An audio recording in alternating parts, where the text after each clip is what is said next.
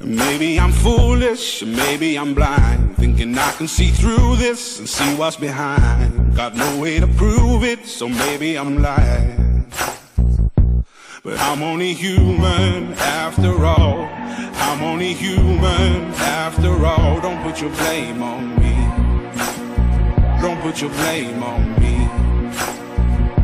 Muy buenas chavalada, el videojuego que analizaremos hoy se trata de un AAA con H intercalada, un sandbox con toques de RPG y efectos de LSD, pero no os lo cuento, os lo muestro. ¿Cuándo ha sido un crimen tener éxito en este país? No te haces rico en política siendo, siendo honrado. Es material y físicamente imposible hacerte rico en la política siendo honrado. Lo ilógico es pretender que alguien dé algo a cambio de nada. Lo que se espera a cambio es que ese partido en algún momento tenga poder para devolver eh, de alguna manera en adjudicaciones y en contratos lo que, lo que se ha adelantado. Debes estar preparado para hacer cosas que están totalmente fuera de los límites de la moral convencional. Le meteremos en una celda. Te agradezco que estés aquí conmigo. Sabía que si te daba mi dinero, habrías hecho lo necesario. Te daba igual lo que pareciera. Estamos ante el mayor escándalo de corrupción de la democracia, de un partido político. No pueden relacionar eso con nosotros.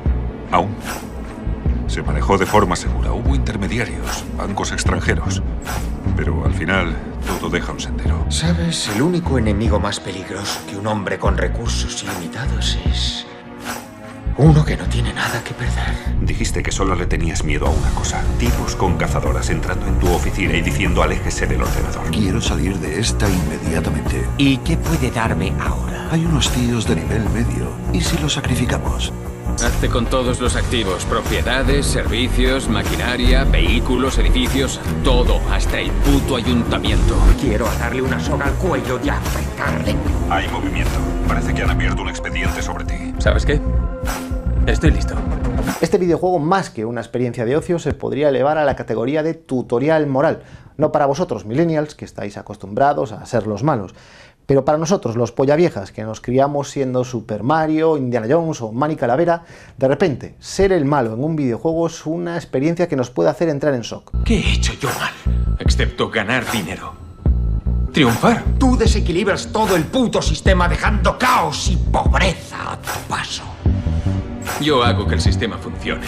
Para allá. Debería, pero ¿cuál es la gracia de tener tanto dinero si nunca puedes decir que te den? Oh, some people got the real problem. Some people out of love. Some people think I can solve them. Lord heavens above. I'm only human after all. I'm only human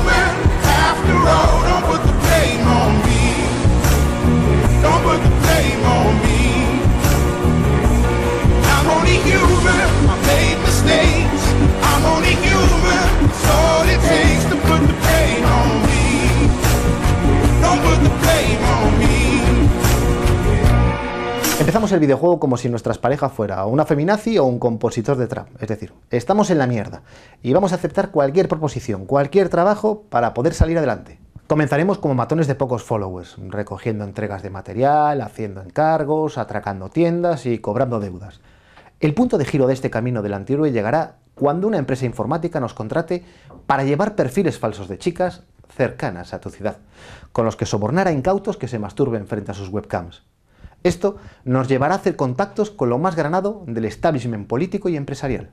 Y bueno, ya sabéis, la política lleva el dinero, el dinero lleva el éxito, el éxito lleva la impunidad y la impunidad nos lleva a todas partes gratis y en primera clase. Pasaremos de robar bancos a robar con los bancos. Haremos fortuna con el mayor invento español junto a la fregona en el chupa chups, la construcción. Desviaremos fondos invirtiendo en material sanitario. Recortaremos todo lo recortable en derechos sociales, laborales, sanidad, educación, para que nunca nos falte de nada y podamos vivir como nosotros y no el resto se merece. El videojuego gráficamente está a la altura del porno con amor, ya lo habéis visto, y la banda sonora es excepcional. Rocío Jurado, Antonio Molina, La Piquer, el gran Rafael, pero su fuerte, su pilar básico radica en la jugabilidad. Es que su arco narrativo es barroco y su semiótica contingente y necesaria. Incluso en el modo online hay poco lag y mucho flow.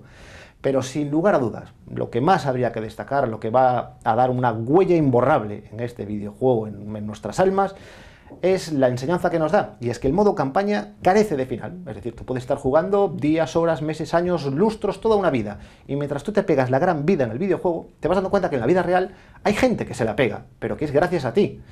Bueno chicos, si os ha gustado el vídeo no olvidéis darle al like, dejar un comentario, suscribiros al canal, compartirlo, cargar el móvil e ir a comprar pan.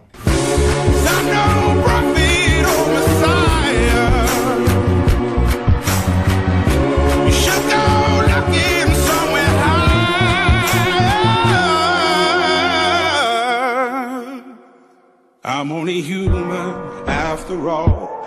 I'm only human after all. Don't put the blame on me. Don't put the blame on me. I'm only human. I do what I can. I'm just a man. I do what I can. Don't put the blame on me. Don't put your blame on me.